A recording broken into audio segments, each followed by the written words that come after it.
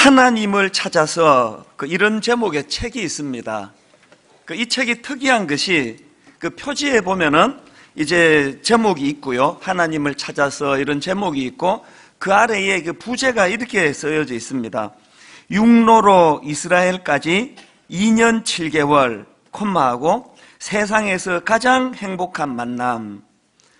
그 표지가 이제 그 설명해 주는 것처럼 이 책은 그 21살 된 젊은 신학생이 그저 이론에 갇힌 그런 하나님 말고 정말 살아계신 하나님을 만나고 싶다.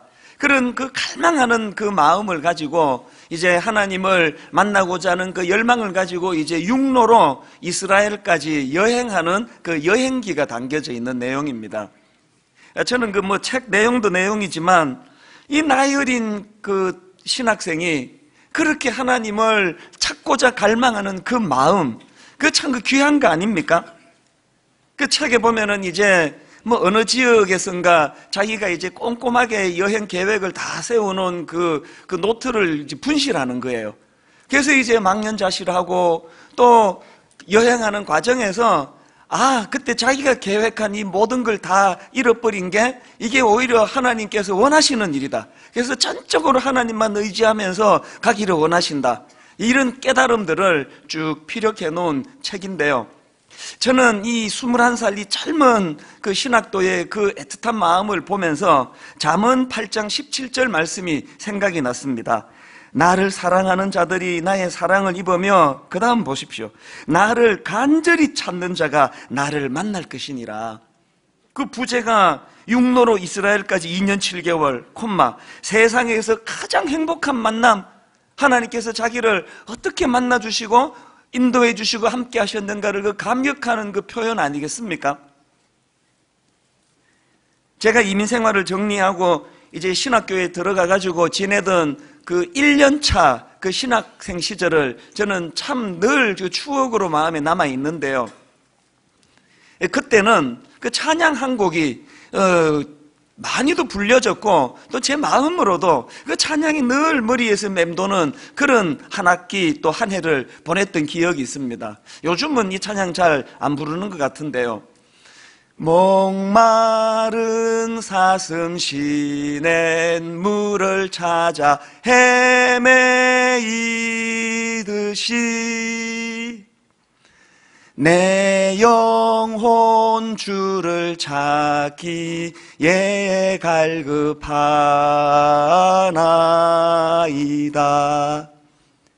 이상하게 그 수업 들어가기 전에 그 교실에 앉아 있어도 이 찬양이 떠오르면 그렇게 눈시울이 붉어지고 새벽에 일어나가지고 이제 신학생들과 더불어 쭉 예배를 드리러 그 행진하는 그 길에서도 이 찬양이 그 이른 새벽에 머릿속에서 울려지는 겁니다. 그러면 또 눈물이 걸성걸성 하는 겁니다.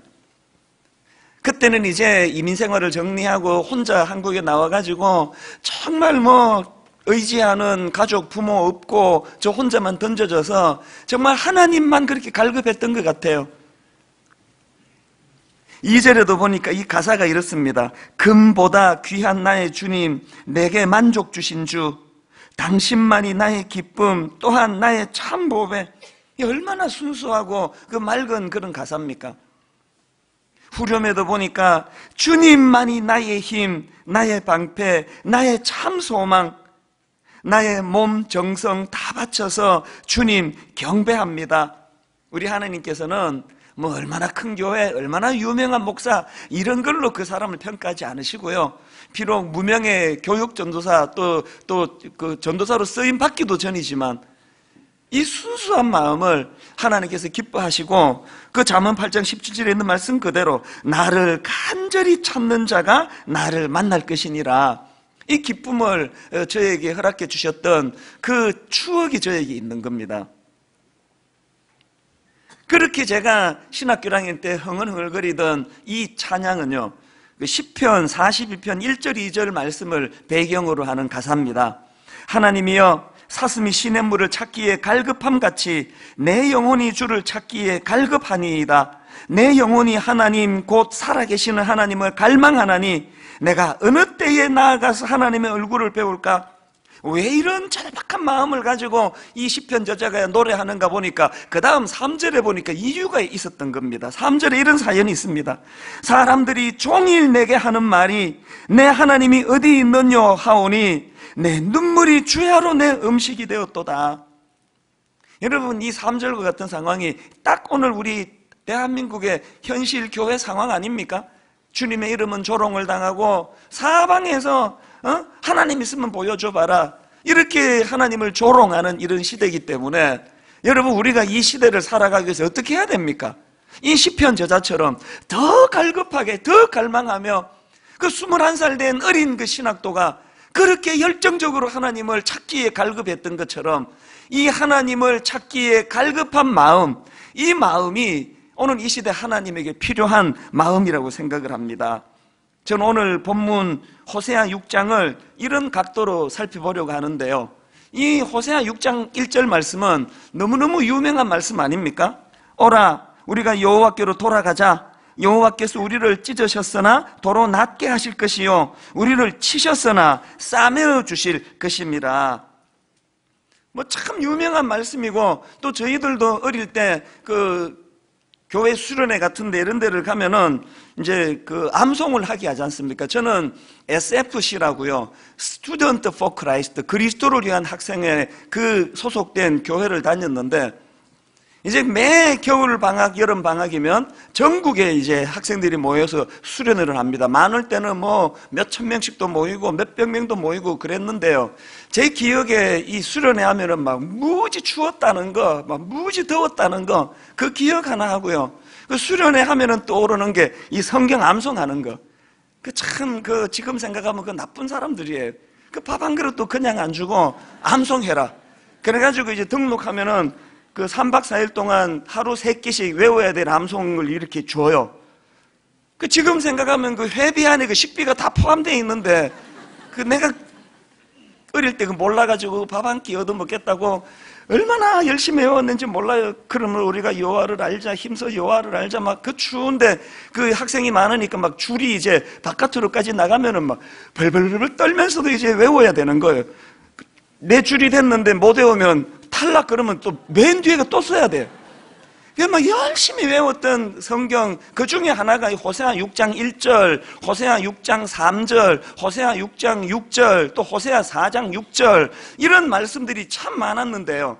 근데 여러분 제가 이 말씀들을 생각하면은 제 안에 왜이이 아픔이라 그럴까 이 트라우마가 있는가 하면은 40년 전서부터 이렇게 부흥을 갈망하고 하나님을 갈급히 찾는다는 걸 암송을 하고 그렇게 하나님 하나님 그랬는데 왜 오늘까지 한국 교회는 이렇게 냉랭하고 이 부흥이 잘 안 일어나느냐는 거예요. 그 왜 그럴까?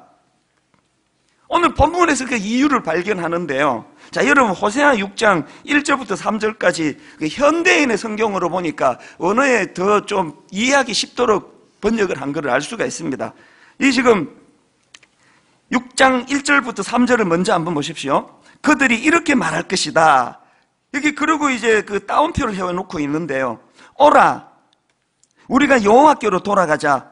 여호와께서 우리를 찢으셨으나 우리를 다시 낫게 하실 것이며 우리에게 상처를 입히셨으나 우리를 싸매 주실 것이다. 여호와께서 이틀 후에 우리를 살리시며 3일째에 우리를 일으키실 것이므로 우리가 그 앞에서 살게 될 것이다. 그러므로 여호와를 알자 힘써 여호와를 알자. 그의 나타나심은 동이 터는 것처럼 확실하다. 비와 같이 땅을 적시는 봄비같이 그가 우리에게 나오실 것이다. 이 겉으로 보기에 얼마나 아름다운 신앙 고백입니까? 그런데 여러분 그 다음 4절에 보니까 하나님은요 이 아름다운 이스라엘 백성들의 신앙 고백을 아주 냉담하게 받으시는 거예요. 4절은 한번 보십시오. 그러나 여호와께서 말씀하신다. 이스라엘아 내가 너를 어떻게 할까? 유다야, 내가 너를 어떻게 할까? 너희 사랑이 아침 안개와 같고 일찍 사라지는 이슬과 같구나. 이 참 슬픈 이야기 아닙니까?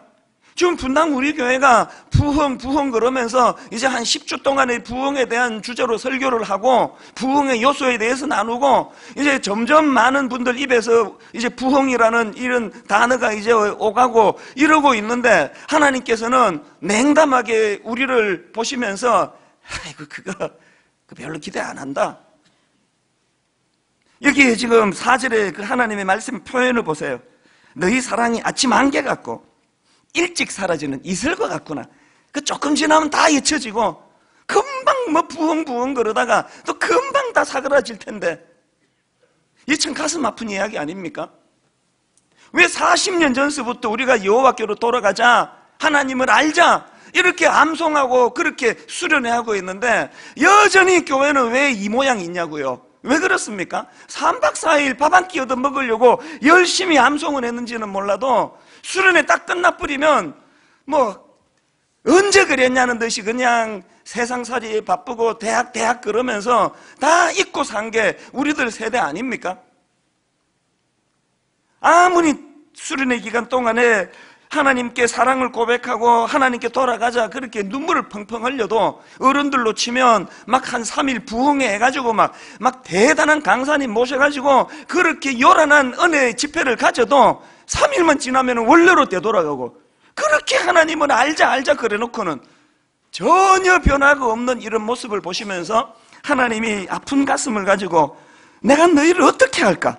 너희 사랑이 아침 안개와 같고 일찍 사라지는 이슬과 같구나. 이런 가슴 아픈 말씀을 하시면서 하나님께서 내어 놓으신 대안이 바로 호세아 6장 6절입니다. 나는 인애를 원하고 제사를 원하지 아니하며 번제보다 하나님을 아는 것을 원하노라.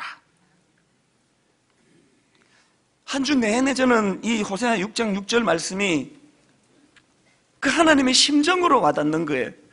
나는 인애를 원하고 제사를 원하지 아니하며 번제보다 하나님 아는 것을 원하노라. 그 제가 여러분에게는 질문을 던지고 싶은 거예요. 여러분 하나님 아세요? 여러분 하나님 진짜 아세요? 제가 이런 질문을 던지면 그 떠오르는 제가 겪은 한 일이 생각이 나는데요. 몇 년 전이에요. 미국에 집회가 있어가지고 이제 인천공항으로 갔습니다. 인천공항에 보통 한두 시간 전에 가지 않습니까? 이제 수속을 다 끝내고 이제 벤치에 앉아 있었습니다. 공항의 벤치는 보니까 이렇게 마주 보도록 되어 있더라고요.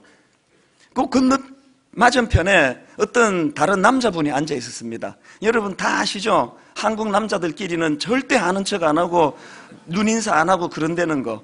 그래서 둘이가 서먹서먹하게 앉아 있어서 그 딴 데 자리도 많은데 그 앞에 앉아 가지고 한 번씩 눈 마주치면 서로 피해 주고 그러면서 이제 어색하게 그 자리에 앉아 있었는데 그러고 있는데 전화가 왔어요. 저한테. 그래서 제가 네 안녕하세요. 지금 제가 그 미국 집회 중이 가는 중이라서 이제 다녀와서 전화를 드리겠습니다. 이렇게 이제 전화를 하고 끊었더니 그 앞에 있던 그 남자분이요 태도가 확 달라지면서 갑자기 저한테 이렇게 말을 건네시더라고요. 혹시 이찬수 목사님이세요? 그래서 제가 네. 그랬더니 막 갑자기 얼굴이 확 펴지면서 제 옆으로 바짝 다가오더니 아, 나 목사님 잘 안다고 그러면서 이 사연을 들어보니까요. 이분은 이제 주일 저녁이 되면 제 설교를 이제 mp3로 이제 다운받아 가지고 녹음해 가지고 그거를 늘 이제 자기가 듣는다는 거예요. 그래서 얼굴은 긴가민가해요.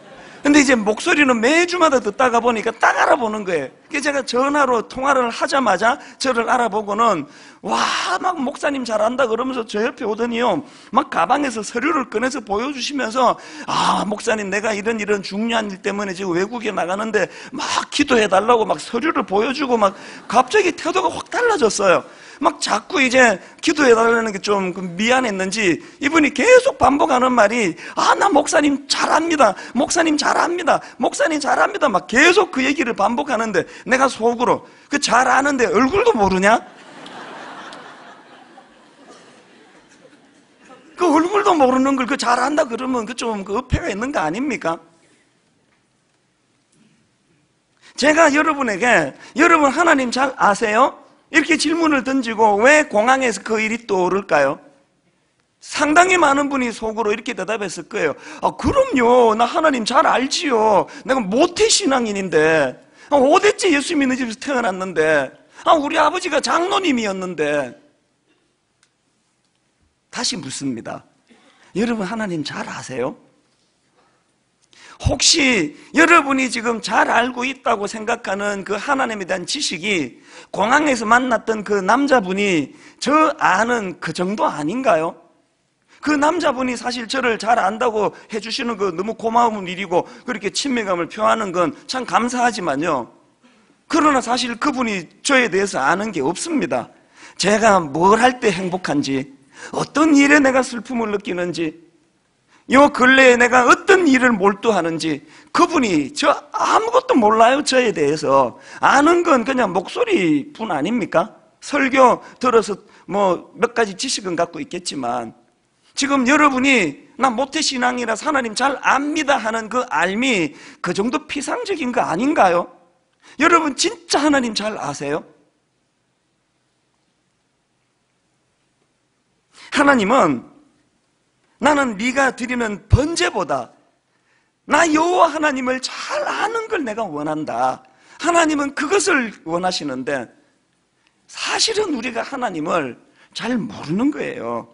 그 아는 것 같지만 뭐, 뭐 별로 중요하지 않은 뭐 목소리 어떤 거, 뭐 얼굴이 어떻게 생긴가, 그건 뭐 그분이 모르셨잖아요. 얼굴도 모르고 뭐 우리가 하나님에 대해서 잘 모르고 있다는 사실이에요.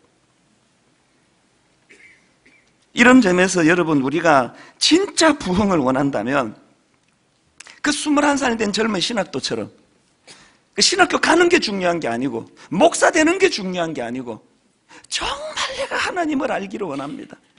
목마른 사슴이 시냇물을 찾아 갈급한 것처럼 내가 하나님을 제대로 알기를 원합니다.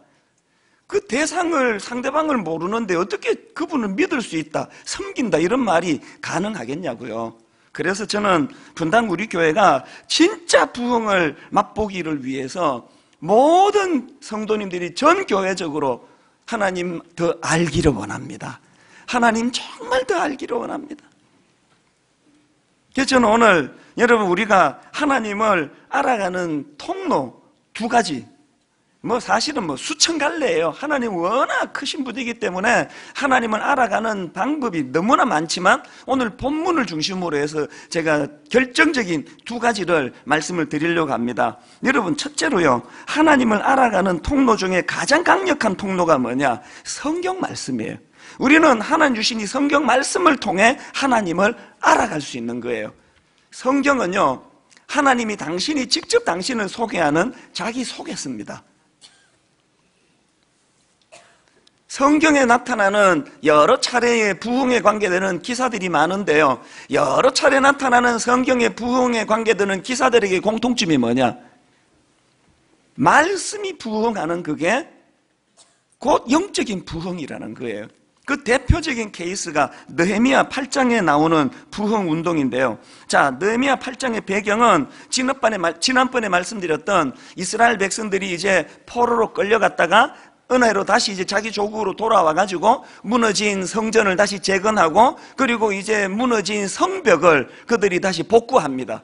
그렇게 건물 짓는 것으로 끝내지 않고 그리고는 이스라엘 백성들이 갈급해서 이 수문이라는 광장으로 모여드는데요. 이게 어떻게 부흥과 연결이 되었느냐? 자, 8장 1절을 한번 보십시오. 느헤미야 8장 1절. 이스라엘 자손이 자기들의 성읍에 거주하였더니 일곱째 달에 이르러 모든 백성이 일제히 수문 앞 광장에 모여 학사 에스라에게 여호와께서 이스라엘에게 명령하신 모세의 율법 책을 가져오기를 청하매 요즘으로 치면 성경책을 좀 읽어달래 성경책. 성경책을 좀 갖고 오세요. 그 사람을 기대고 사람을 의지하는 게 아니라 하나님의 말씀을 들려주시기를 원합니다 그 다음 3절에도 보니까요. 수문 앞 광장에서 새벽부터 정오까지 남자나 여자나 알아들을 만한 모든 사람 앞에서 읽음에 그 다음 보세요. 묻 백성이 그 율법책에 귀를 기울였는데 이 말씀을 소중히 여기고 이 말씀이 선포될 때 거기에 관심을 가지고 귀를 기울이던 그들의 자세 그 다음 5절에도 보십시오. 에스라가 모든 백성 위에 서서 그들 목전에 책을 펴니 책을 펼 때에 모든 백성이 일어서더라. 그러니까 하나님 말씀에 대하여 그 존중하는, 존중 여기는 태도 아닙니까? 저도 사실 몇 번 그 갈등을 좀 했었습니다. 우리가 성경 봉독할 때 다 일어나서 하나님의 말씀을 받고 읽으면 어떨까? 여러분 이렇게 말씀을 소중히 여기고 그 사람의 말 듣는 것보다 하나님의 말씀이 들려지기를 원한다. 말씀이 선포될 때 그걸 소중히 여기고 그걸 존중하는 마음의 태도 거기에 부흥의 역사가 일어나더라는 거예요. 저는 북한을 두 번을 방문했습니다. 한 번은 육로로 이제 방문을 했기 때문에 뭐 그럴 필요가 없었는데요. 이제 첫 번째 방문할 때는 이 비행기로 갔기 때문에 이제 중국에 가가지고 중국에서 이제 평양 가는 비행기를 탔는데요. 이 돌아올 때 이 평양은 비행기가 뭐, 뭐 하루에 한 번 뜨고 뭐 이러기 때문에요. 그 스케줄이 참 안 좋아요. 그래서 이제 평양에서 중국으로 와서 한국 오는 비행기가 바로 연결이 안 돼서 거기서 하룻밤 중국에서 지내고 그 다음날 이제 인천으로 돌아왔는데요. 이 중국을 잘 아는 동행하신 분 중에 한 분이 이제 그 북한에서 운영하는 식당이 있다고 거기 가보자고. 요즘에 이제 이 핵 문제로 이제 그렇게 하지 말라고 뭐 지침이 있다고 그러는데 그때는 그런 게 없었습니다. 그래서 이제 그 북한에서 운영하는 그 식당을 갔더니요. 별 세 개더라고, 별 세 개. 별 천지. 이 서빙하는 그 웨이트레스들은 전부 다 이게 이제 김일성, 김정은 배지를 이제 가슴에 달고 있고요. 막 전부가 다 이제 그런 그 북한에서 운영하는 느낌이 드는 분위기예요. 그런데 제가 거기 갔던 날을 오래전의 일인데 잊지를 못하는 한 장면이 있습니다.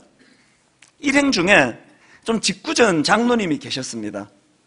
이분이 이제 좀 그 농담도 잘하시고 뭐 분위기도 잘 그렇게 띄우는 분인데요. 그 북한 접대하는 그, 그 외출해서 아가씨를 부르시더니요. 이제 그 주머니에서 그 그러니까 이제 이분이 회계를 맡으셨어요. 우리가 돈을 얼마씩 객출해가지고 이분이 이제 그 재정을 그 회계를 맡으셨는데요. 그러다 보니까 뭐 돈을 넣었다 뺐다 하니까 그 봉투가 좀 뭐 너덜너덜할 거 아닙니까? 그 뒷면을 이제 그 접대하는 아가씨한테 보여주면서 그 볼펜을 꺼내서 주면서 아가씨 여기다가 그 김일성을 한자로 좀 써달라고 그렇게 이제 부탁을 했더니요. 아, 제가 그날 그 아가씨 표정을 잊지를 못해요. 갑자기 얼굴이 확 굳어지면서요. 아니, 그 위대하신 김일성 주성님의 존함을 이런 낡은 종이에다 쓰란 말입니까? 난 못합니다. 깨끗한 종이 갖고 오시라요. 즉 그게 잊혀지지가 않는 거예요. 여러분 세뇌돼 가지고 신처럼 떠받드는 한 인간에 대해서를 이 정도까지 존중할 수 있구나. 이게 너무 인상적이었습니다. 제가 신학교 다닐 때 그 배웠던 여러 가지 중에 기억나는 몇 그 에피소드 중에 하나가요.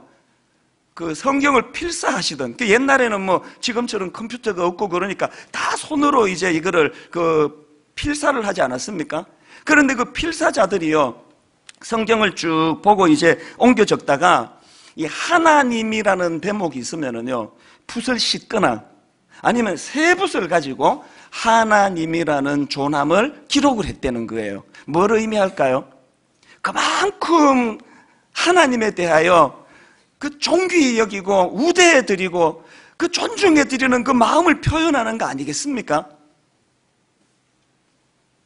오늘 우리가 이 하나님이 당신을 소개하며 당신을 계시하며 우리에게 주신 이 성경책을 우리는 어떤 의미를 가지고 이 성경책을 대하고 있습니까? 저희 어릴 때는요, 이 성경책 배고 뭐 자고 그러면 맞았습니다. 요게, 요게, 요 사이즈가요, 이 목하고 해 가지고 요거 베면 딱 맞아요. 이게, 이 잠자기 요 사이즈가 딱 좋습니다. 이 성경을 베고 누우면은 막, 막 불호령이 떨어졌습니다. 얘가 어디 하나님의 말씀을 그 머리로 베고 있느냐고. 안 일어나? 사실 뭐 여러분 이 내용이 중요한 거지 이 책 자체가 뭐, 뭐 그렇게 이게 뭐 대단한 뭐, 뭐 신성한 거겠습니까만 우리 어른들이 그 성경을 소중히 여기는 마음이 그게 녹아 있는 거 아닙니까? 이 껍데기만 소중히 여기신 게 아니에요. 주야로 말씀을 묵상하, 주야로 말씀을 읽으시고, 암송하시고, 필사하시고. 여러분, 진짜 한국교회가 부흥을 원한다면요. 느헤미야 8장에서 이스라엘 백성들이 보여주었던 이 말씀을 사랑하는 태도.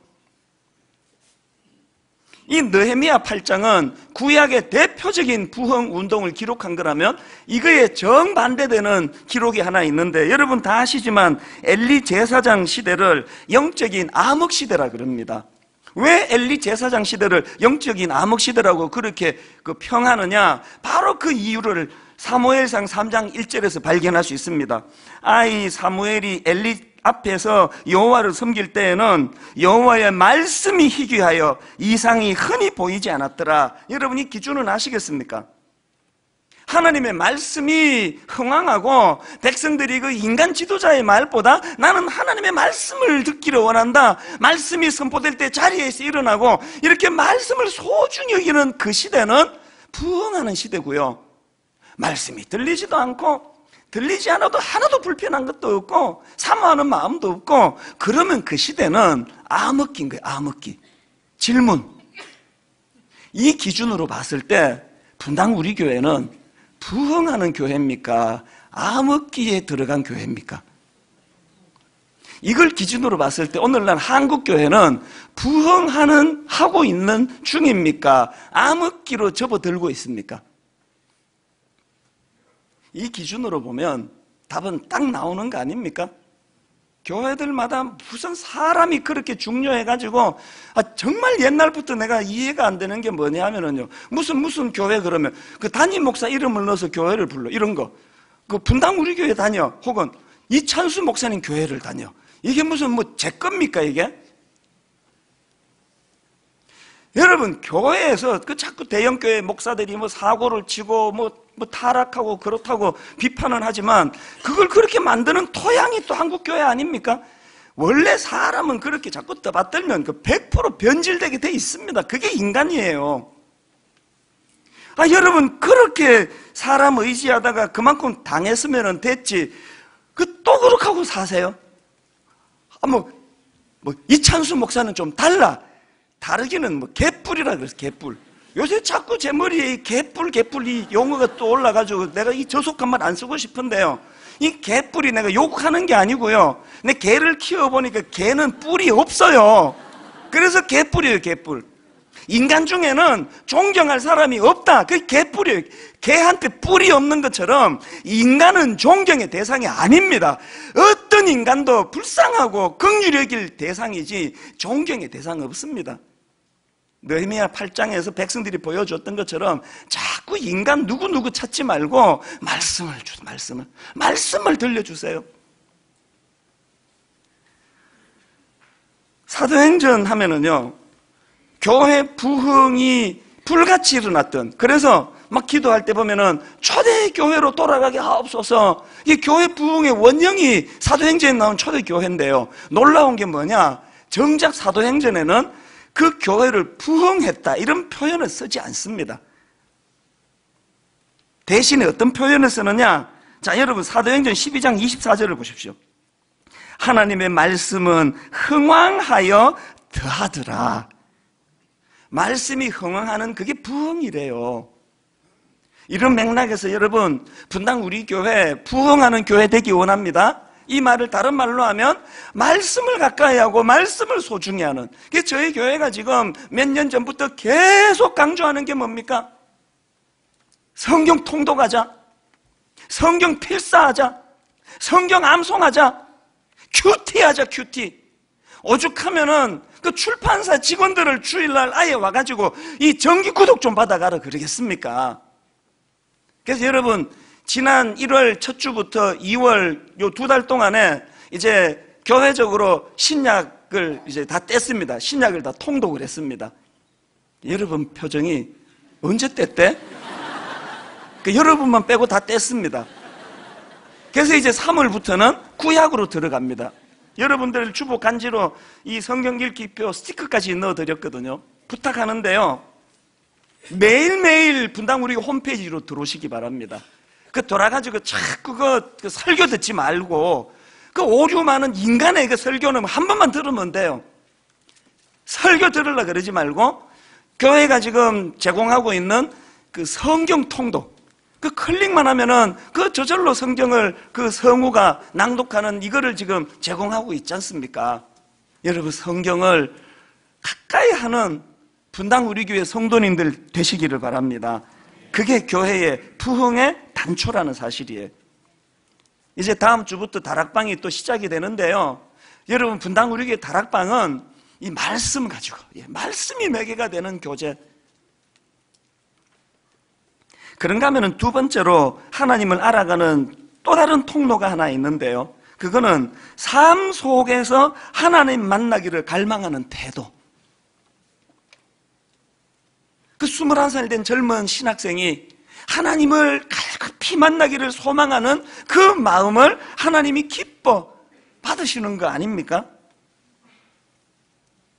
호세아 6장 3절입니다. 그러므로 우리가 여호와를 알자 힘써 여호와를 알자 그의 나타나심을 새벽빛같이 어김없나니 비와 같이 땅을 적시는 늦은 비와 같이 우리에게 임하시리라 하니라 여러분 지금 이 6장 3절이 왜 이렇게 피력되는지 아십니까? 그 당시 이스라엘 백성들이 타락해가지고 하나님도 섬겨야 되지만 비를 주관하는 바알신도 섬겨야 된다 그 바알신을 섬겨야 된다 그러니까 이 말씀 속에서 뭐라고 이야기합니까? 하나님을 아는데 비와 같이 땅을 적시는 늦은 비와 같이 우리에게 임하시리라 두 가지 함축된 메시지가 있지 않습니까?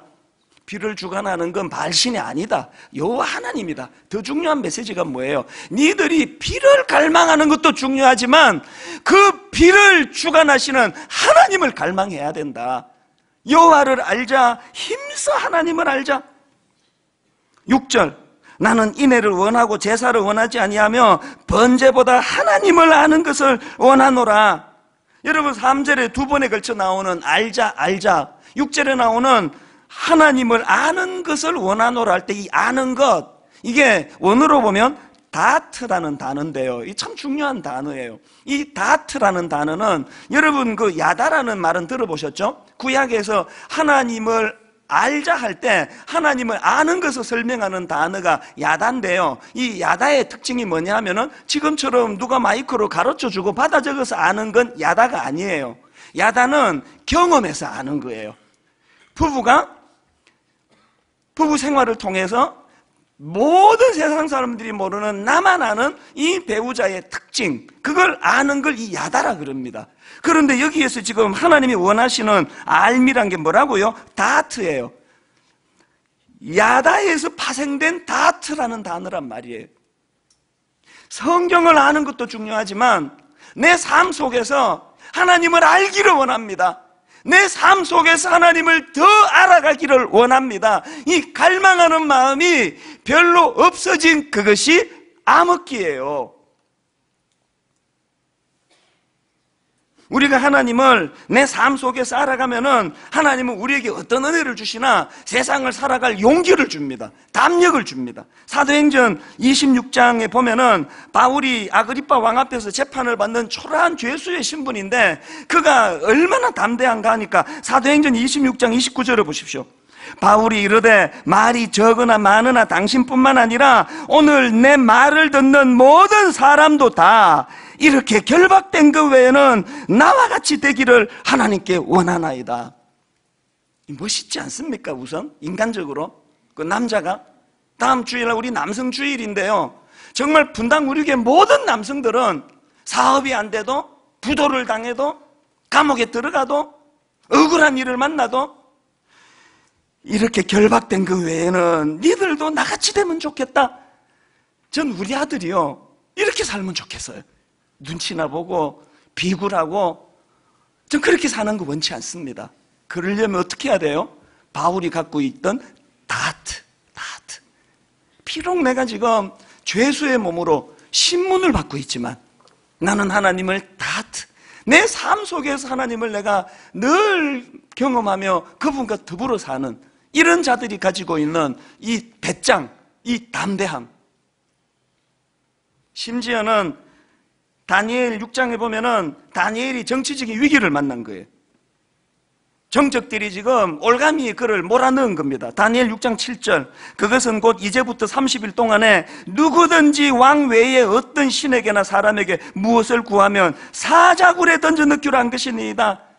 그랬더니 다니엘의 배짱을 한번 보십시오. 6장 10절. 다니엘이 조세의 왕의 도장이 찍힌 것을 알고도 자기 집에 돌아가서는 윗방에 올라가 예루살렘으로 향한 창문을 열고 전에 하던 대로 하루 세 번씩 무릎을 꿇고 기도하며 그의 하나님께 감사했더라. 그 정적들 입장에서 얼마나 얄밉겠습니까? 벌벌벌벌 떨기를 원해서 이런 조서를 꾸몄는데 이런 담대함은요 그 사람의 성품에서도 나오지만 하나님을 다트하는 하나님에 대한 지식이 있는 그 사람에게서 이런 담력이 나타날 줄로 믿습니다. 결론을 맺으려고 합니다. 여러분 지난 성탄절 12월 25일에 KBS에서 방영했던 그 일사가고라는 다큐멘터리 기억하십니까? 순교자 주기철 목사님의 삶을 다큐멘터리로 묶었는데 공영방송 KBS에서 전 그게 나오는 게 너무 기뻤습니다. 주기철 목사님은 일제강점기 때 신사참배에 반대해가지고 그 끔찍한 고문을 당하고 옥사하신 분인데요. 그때 돌아가실 때 목사님 연세가 46이에요. 여러분, 저는 가끔 제가 56살이라는 게 부끄럽습니다. 46살에 그렇게 꺾이지 않고 하나님 말씀을 가지고 그렇게 순교할 수 있었던 배짱이 어디서 나왔느냐. 그래서 주기철 목사님의 46년의 삶을 딱 한마디로 요약했더니 사자성으로 일사가고. 그 멋있는 표현 아닙니까? 변절하지 않는? 이게 어떻게 가능하다고요? 주기철 목사님이 아는 하나님에 대한 다트, 다트. 이제 오늘부터 우리 교회가, 우리 심령이, 우리 가정이 부흥을 갈망하며 하나님을 알아가기로 하나님을 더 알아가기로 그렇게 갈망하는 저와 여러분 되기를 주님 이름으로 축원합니다. 그러면 시편 9편 10절에서 하나님이 반응하십니다. 여호와여 주의 이름을 아는 자는 주를 의지하오리니 이는 주를 찾는 자들을 버리지 아니하심이니이다. 이 말씀이 여러분 인생의 표처럼 삶으로 나타나는 복이 있는 인생 되기를 주님 이름으로 축복합니다. 오늘 말씀을 우리 생각하시면서 우리 찬양 나의 힘이 되신 여호와여 내가 주님을 사랑합니다. 주는 나의 반석이시며 나의 요새시라. 우리 오늘 가사를 생각하시며 말씀을 생각하며 한번 이렇게 노래하기 원합니다.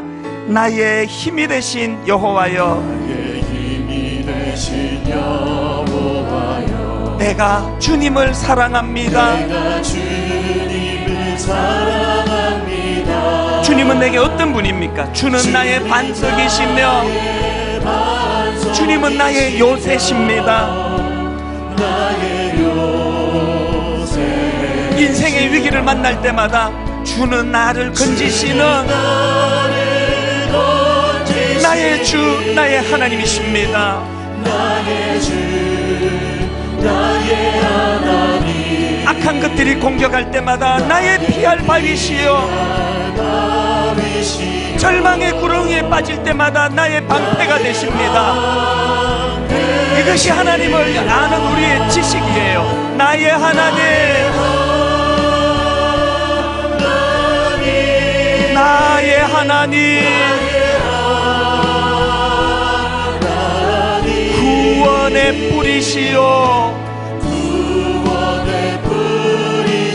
나의 산성이라, 나의 산성이라.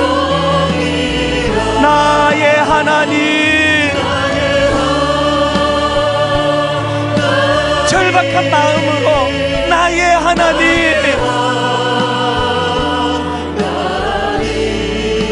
그는 나의 여호와. 나의 나의 구세주 2절 부르기 전에 여러분 지금 각자 어떤 상황이십니까? 사업이 어려우세요? 가정에 문제가 생겼습니까? 다니엘처럼 악한 못된 적들이 나 잡으려고 지금 올, 올, 올무의 나를 지금 덮어 씌우려고 하고 있습니까? 우리 힘으로 할 수 없는 너무너무 답답한 사방으로 우겨쌈을 당하는 일을 겪고 계세요? 피할 길은 하나예요. 다트. 과거에 이런 일을 겪을 때 어떤 은혜로 나를 이렇게 세워주셨던가 그 하나님을 아는 지식이에요. 우리 아이들이 주일학교 아이들이 저는 가슴이 아픕니다. 막 이런 찬양을 부릅니다. 나의 피할 바위시라고 나의 방패시라고 묻습니다. 너 이거 어떻게 알았니? 우리 엄마가 가르쳐 주시던데요. 우리 아빠가 그렇게 말씀하셨습니다. 여러분, 우리 자녀들이 다니엘처럼 바울처럼 비굴하지 않고 담대하게 살려면 아빠가 가르쳐 주시는 그 지식이 아니에요. 내가 다 하는 다윗처럼. 우리 한번 다 자리에서 일어나셔서 2절 찬양을 부를 때 여러분 가슴으로 내 딸도 품고 내 아들도 품고 우리 가정을 품어매 하나님 우리 아이들이 다니엘처럼 바울처럼 또 우리가 그런 삶을 담대함을 회복하기 원합니다. 이렇게 노래합니다. 나의 생명이신 여호와여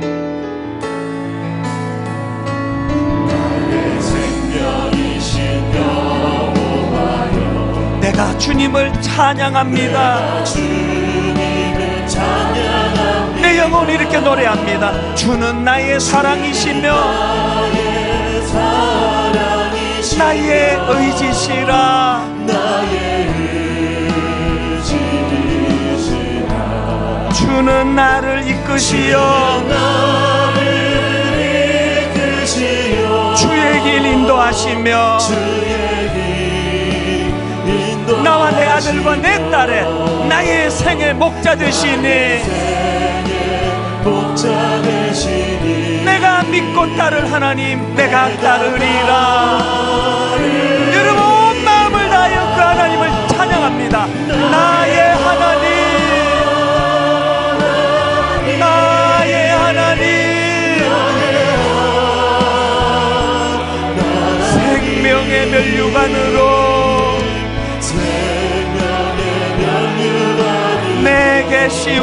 씌우소서 내게 지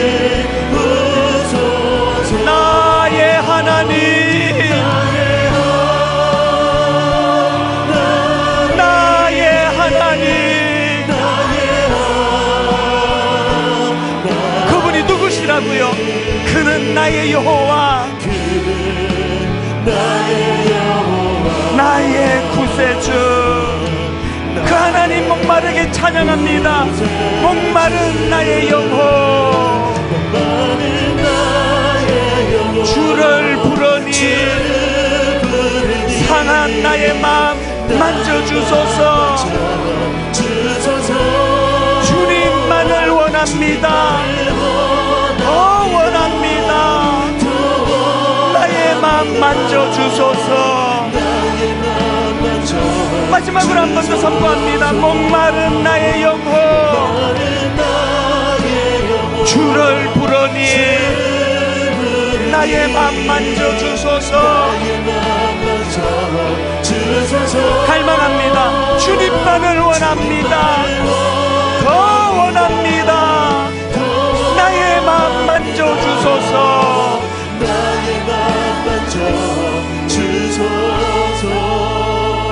말씀 앞에 회개하며 말씀 앞에 굴복하며 내 아들, 내 딸, 내 아내, 내 남편, 내 부모님 가슴에 품고 저를 따라 큰 소리로 세 번 선포하고 우리 은혜를 구하는 통성 기도 드리기 원합니다. 부흥을 갈망하며 기도합니다. 이렇게 선포합니다. 주여 은혜를 주옵소서. 주여 은혜를 주옵소서 주여 은혜를 주옵소서. 주여 은혜를 주옵소서 주여 은혜를 주옵소서. 주여 은혜를 주옵소서 살아계신 하나님 통성으로 기도하기 원합니다. 아버지 하나님, 우리의 심령 안에 하나님을 알고자 하는 열망하는 마음을 주시기 원합니다. 하나님을 갈망합니다. 하나님을 사모합니다. 더 사모합니다. 더 갈망합니다. 더 원합니다. 하나님, 채우시고 회복시키시는 그 은혜를 내 심령 안에 하나님으로 갈증을 느끼는 인생이 되기를 원합니다. 하나님을 더 알아가기를 원합니다. 하나님을 더 더 더 알아가기를 원합니다. 하나님을 알아가되 위기를 만날 때 우리를 도우시는 그 하나님 어려운 일을 만날 때마다 우리를 인도하시는 그 하나님 우리의 삶 속에 우리의 심령 속에 어떤 여호와 하나님의 능력이 나타나는가를 다투하는 하나님의 자녀들 되기를 원합니다 하나님을 아는 지식 여호와께로 돌아가자. 여호와께로 돌아가자. 아버지 하나님 아는 이 지식이 그 아버지 하나님 결단을 가져다주는 능력이 되는 줄 믿사오니 하나님 그 은혜를 허락하여 주시옵소서.